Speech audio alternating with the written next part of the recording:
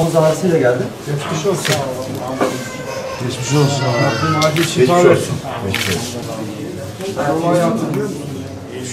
Yani biz e, yukarıdan aşağı kamyon geldi. Gördük kamyonu. E, Orada viraj var. viraj var. Aklıma geldi duramayacağını. Kaçın dedim. Yaşlılar vardı orada. Yaşlılar kaçamadı. Biz kaçarken bizi de savurdu. Göremiyor işte. Çok hareket etme.